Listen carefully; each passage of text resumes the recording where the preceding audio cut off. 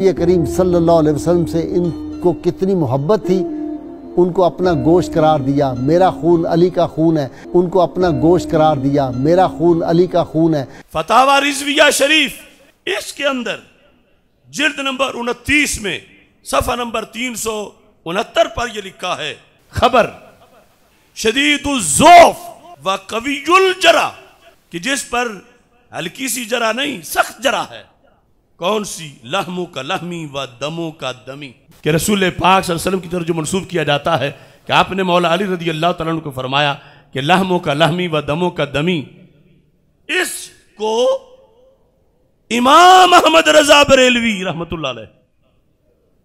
वो कह रहे खबर, ये खबर है कौन सी? शदीदुल्जोफ व कवीउल जरा।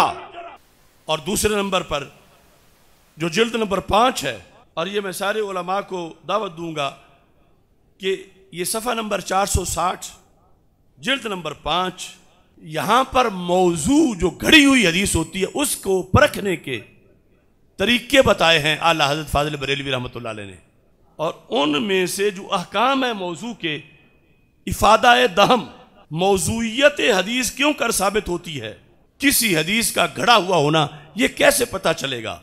इस पर फिर आपने लिखते लिखते जो बारवा तरीका लिखा है, अब देखो ना, हर बंदे को शौक है कि सच्ची हदीस और फिर जो घड़ी हो मुझे पता चले तो उर्दू में लिखा हुआ है। लेकिन कितने जिन्होंने ये पढ़ के तो इसको याद किया हो। बारहवीं चीज़ कि घड़ी कौन सी होती है? नाकिल राफजी हजरात, नाकिल नकल करने वाला, राफजी हो।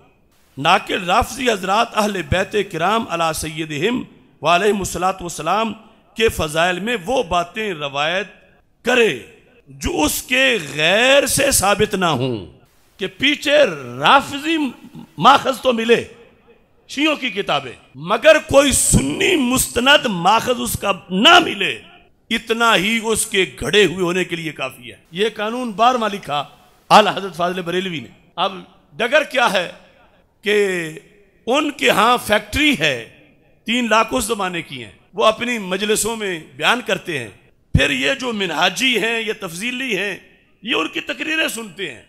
इनकी औरतें, ये खुद इनके स्टूडेंट। और फिर वाह वाह देखते हैं, क्योंकि सुनियों में तो वो किसी ने बयान नहीं की होती। ये नया फल दाद का लेना चाहते हैं। इस शौक में जहन्नम कमाते हैं। अब जिस वक्त वो बयान करते हैं तो आला फरमाते हैं कि ऐसी डगर पे ना चलो। जब मुस्तनद सुन्नी माखज में वो बात नहीं तो फिर वो मौजू है। जिस तरह वो वो चिश्ती की तकरीर थी वाकिफू मिन्ना मसूलून के लिहाज से, और सैकड़ों तकरीरें हैं जो सुनियों में रैज की गई हैं, और बातें सब मौजू हैं।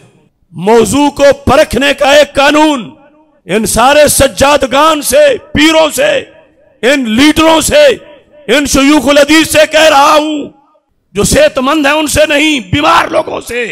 बाज आ जाओ उन किस्से कहानियों से जो रिफ्स की फैक्ट्री में घड़ी गई और तुम वो आल सुन्नत में बताते हो जिसके नतीजे में फिर कुफर लाजम आता है। क्यों घड़ी बातों में कहीं गैर नबी को नबी से बढ़ाया जाता है, कहीं अल्लाह से बढ़ा दिया जाता है। क्योंकि घड़ी हुई चीज़ है। वो कहीं भी जाके टकरा सकती है। आल हज़रत ने क्या मिसाल दी कि नाकिल राफजी हो और मुस्तनद आल सुन्नत में से किसी ने ज़िक्र ना की हो। अब कुछ किताबें इस तरह हैं जिनका अंदाज सिर्फ़ जमा करना है।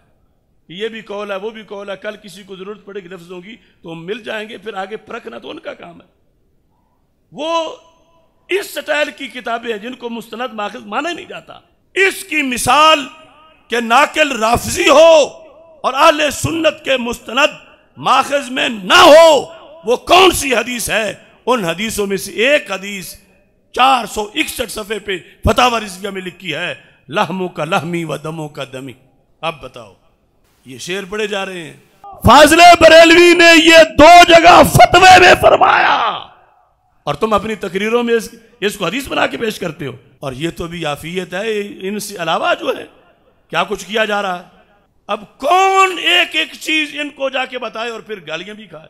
चलो मुझे तो कहेंगे चट्टा का छोर आई चार लफ्ज पढ़ गया खलोंदा के नहीं ते आला हज़रत लिखा है ये इमाम अहमद रजा बरेलवी ने दो जगह लिखा है आओ तफसीलियो तुम कहते हो हम आज भी सुन्नी है आज भी सुन्नी है आज भी सुन्नी है तो थर्मामीटर है इमाम अहमद रजा बरेलवी का तुम तो जगह जगह राफजियों वाला बयानियाँ लेके फिर रहे हो और पीछे ये सूरत हाल है तो इस बुनियाद पर यानी वो बात उसका मैं रद्द पेश कर रहा हूँ इन लफ्जों से भी, जो लान शाह ने कहा मोहम्मद अली है और अली मोहम्मद है। पूरा लफ्ज मोहम्मद तो दूर की बात। ये तो जिसको कुछ हदीस कह रहे थे, आला हज़रत उसका भी रद्द कर दिया। मगर आज जो ये बताए तो फिर गालियों से बच के कैसे जाए? कि इसको कहा जाएगा, मरोड़ है कोई। क्योंकि इससे साबित हो सकता है कुछ कुछ उस तरफ़ कि मोहम्मद अली हैं और अली मोहम्मद हैं। लहमों का लहमी व दमो का दमी।